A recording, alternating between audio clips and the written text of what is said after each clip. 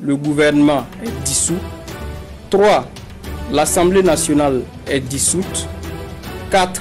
Les frontières terrestres et aériennes sont fermées pour compter du 24 janvier 2022 à 0 heure et ce jusqu'à nouvel ordre. Dès l'annonce du coup d'état militaire au Burkina Faso, la nouvelle s'est propagée comme une traînée de poux. Pour la plupart des citoyens, la résolution de la question sécuritaire demeure la plus grande préoccupation à laquelle les nouveaux dirigeants devront apporter une solution. Nous savons tous qu'au Burkina, le problème le plus criard actuellement, c'est l'insécurité. Et on a beaucoup de déplacés, plus de 1 500 000 déplacés. Donc euh, c'est ça le véritable problème. Voilà. Donc nous souhaitons que même s'il y a changement, que ceux qui vont venir euh, arrivent à résoudre ce problème d'insécurité. Voilà. S'il y a un changement et que ce problème n'est pas résolu, euh, c'est comme s'ils n'ont rien fait.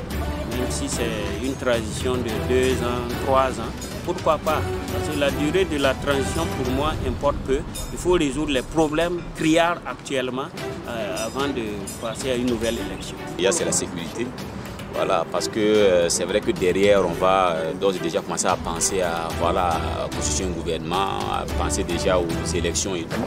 Alors que bon, nous sommes tous quand même au courant du mal qui est en train de voilà, nous décimer depuis quand même un bout de temps, c'est la sécurité.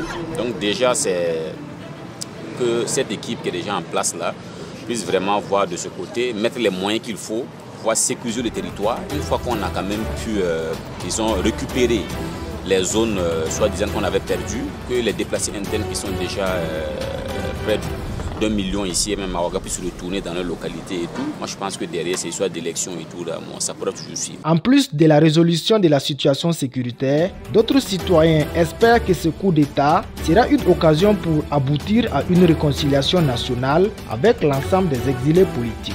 Et premièrement, j'attends que les gars puissent revoir euh, voilà, l'organisation de l'État sécuritaire du Burkina euh, deuxièmement aussi, euh, donner une confiance pour se rallier avec le Mali très rapidement.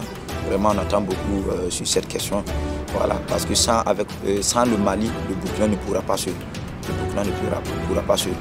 Voilà, et aussi, troisièmement, j'attends vraiment qu'ils essayent de revoir avec les anciens, et tels que voilà, Gilbert Genguéré, Yacouba Isaac Zida qui se trouve actuellement au Canada, qu'ils essayent en tout cas de les faire appel enfin qu'ils puissent s'organiser ensemble même s'ils ne vont pas les mettre en tête, qu'ils en tout cas puissent user de leur euh, savoir-faire aussi pour pouvoir euh, organiser mieux les choses.